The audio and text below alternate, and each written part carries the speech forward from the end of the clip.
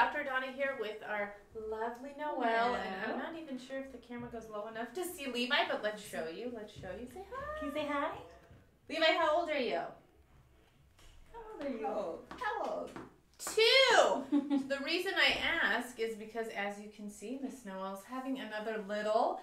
Um, so I wanted her to tell us a little bit about this pregnancy and more specifically, running around after a toddler and what that does to a body while also being pregnant. So tell us a little bit about your journey.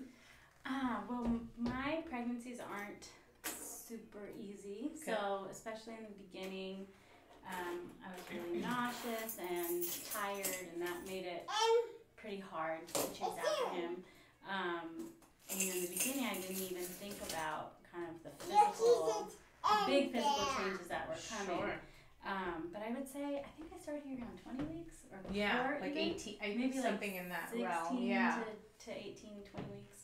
Um, I started to just come, come remember on, I had a lot of period sentences coming the first time.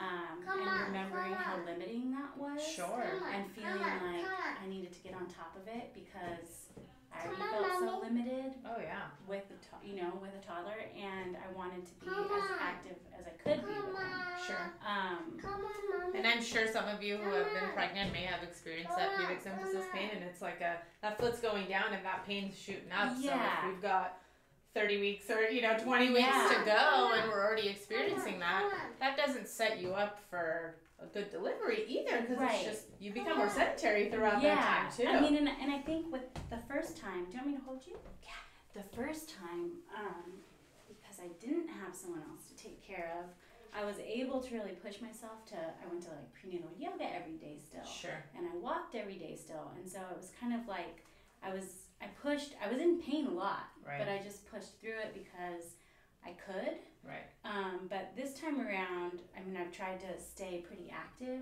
but it's I can't be as nearly as active as sure. I was, or intentionally active. Right. I will say right. I'm probably more active in other ways.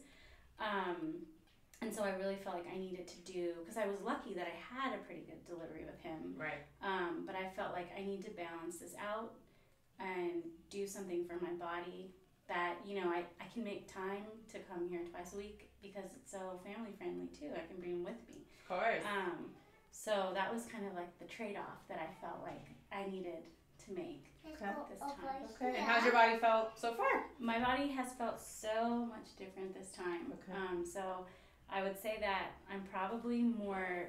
My body's under more stress in certain ways than it was the first time but I'm so much more mobile and like not in pain. Like I was, awesome. I was telling my husband this other day, um, well, well before this point, but definitely by this point, I was like going on a walk was so painful. Really? And okay. now we go on walks every morning. It's a win. Yeah. Big win. win. we even like can we can go on hikes.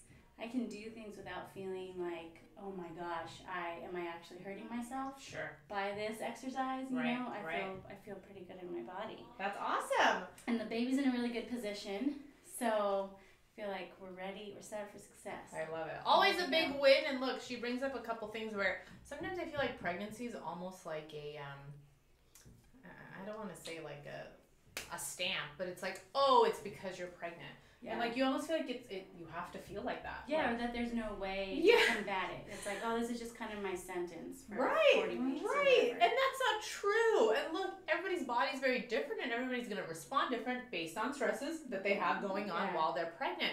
But there's so much that you can do just to feel good.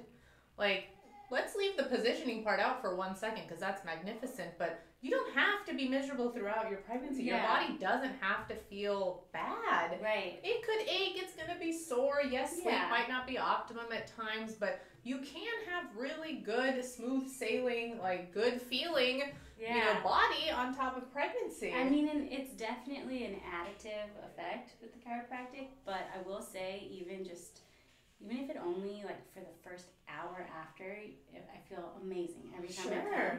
So even if I didn't have all the other benefits, at this point in like life with caring for a right. toddler and being pregnant, I'll take it. Right, you know? right. No, absolutely. and, it. and she brought up positioning. You know, our one of the things that we do, regardless of if you present with a breech baby or not, is a Webster check, and the Webster check allows us to make sure that we have proper alignment, proper positioning in the sacrum and the pelvis, no tension on the round ligaments, which then will always allow for baby to be in proper position and just to have room to move.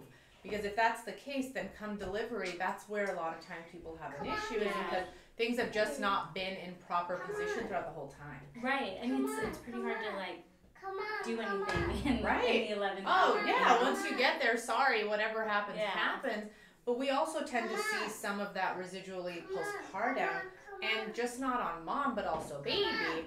So if baby's stuck in a weird position for weeks and weeks on end, sometimes we might see something like torticollis, where the musculature Yeah. might be really tight. Sometimes there's a latch issue because again, it goes a lot of up top, like if something's not off. And look, there's a lot of stress on the body Yeah, in delivery, regardless of how you deliver. and I will say, like I, the first time with him, I had a very speedy delivery and uncomplicated delivery, but I had that pubic pain for, pro- and you know, it it faded, but for a full year. Wow. Um, After. After.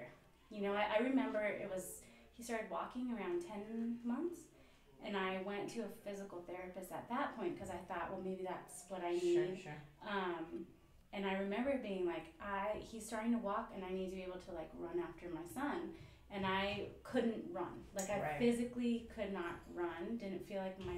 It's such a weird. I can't even describe what that feels like. But it was like my legs were not connected. Right, right. Um, so I remember it was that far into my postpartum. oh, yeah. At minimum, we tell people that the same exact time that you were pregnant, at minimum, that same exact time after, your body's healing in a whole different Yeah. way, and we get to take care of that at the same time to then help these things from, you know, going away much faster Yeah. and you Yeah. being more comfortable Yeah. much That's quicker. my hope with chasing two babies. Ooh, so fun. Anything else you want to tell any pregnant moms out there? Anybody who's got any questions about chiropractic Um, and pregnancy? Well, I will say, so I didn't know much about chiropractic before I was pregnant with him.